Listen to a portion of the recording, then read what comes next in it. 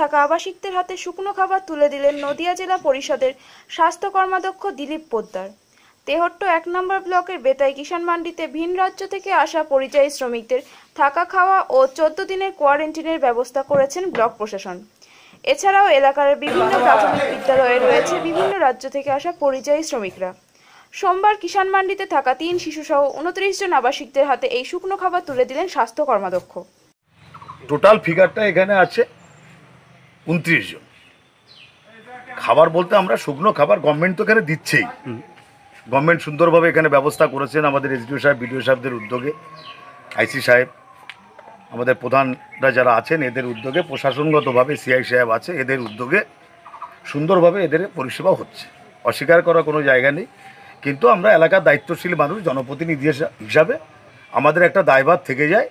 তার জন্য কোনভাবে সেন্টার চলছে, এরা ভালো আছে না খারাপ আছে, সরকার সঠিকভাবে পরিষেবা দিচ্ছে, সেটা পৌঁছাচ্ছে কি না সেটা একটু দেখভাল করার জন্য এসেছি এবং যেহেতু এরা আছে, সঙ্গে একটু শুকনো খাবার, একটু টিফিন করানোর জন্য নিয়ে আসা হয়েছে।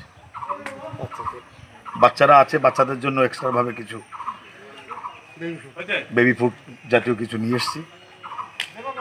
যদি এখনও আমাদের খবরে দর্পণ চ্যানেলটি সাবস্ক্রাইব না করে থাকেন, তাহলে এখনই সাবস্ক্রাইব করুন। সঙ্গে বেল বাটনটি ক্লিক করুন আর পেয়ে যান সব খবরের দ্রুত ভিডিও আপডেট।